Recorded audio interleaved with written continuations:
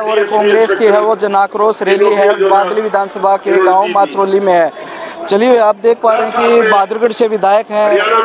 राजेंद्र जून है, वो अपना संबोधन कर रहे हैं और मैं यहाँ का जो लाइव तस्वीरें हम आपको दिखा रहे हैं कि रैली है, वो पूरी तरह से हो है, सफल हो गई है। क्योंकि आप देख पा रहे हैं कि हज़ारों की संख्या में महिलाओं की गैदरिंग भी है और काफ़ी संख्या में है वो। यहाँ पे जनता है, पहुँची, आप देख पा रहे हैं कि लगभग आंकड़े कहें तो 10 से बारह हज़ार की जनसंख्या में आप यहाँ पे मान सकते हैं कि वह जनता पहुँची है और अभी अभी बाहर से हमने तस्वीरें दिखाई।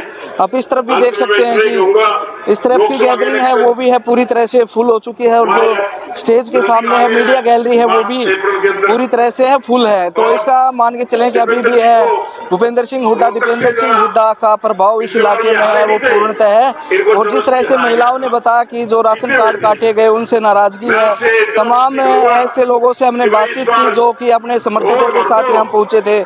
और देखिए, अब अभी अभी नीरज शर्मा है, जो कल छब्बीस जनवरी गणतंत्र दिवस के अवसर पर उनको रोका गया था। उन्होंने भी आके अपने संबोधन में कहा कि ये हम सात पीढ़ियों तक है, वो हुडा साहब का है। वो ऋण है हमारे परिवार पे चढ़ गया है। पिता की भूमिका है, भूपेंद्र सिंह हुडा ने। निभाई है अभी थोड़ी देर बाद है, कुलदीप वत्स है, वो अपना संबोधन करेंगे। गीता बुकल है, वो मन संचालन कर रही है इधर से। और आप देख पा रहे हैं कि इतनी इतनी जनसंख्या आप अधिकतर रैलियों में है, महिलाओं की देखी नहीं जाती।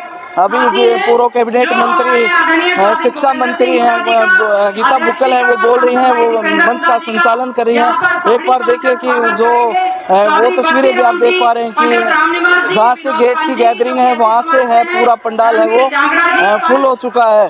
और आगे की तस्वीरें भी हम आपको दिखाएँगे और कुछ महिलाओं से बातचीत की कोशिश की वो भी आप तक दिखाने की एक प्रयास किया। शुक्रिया।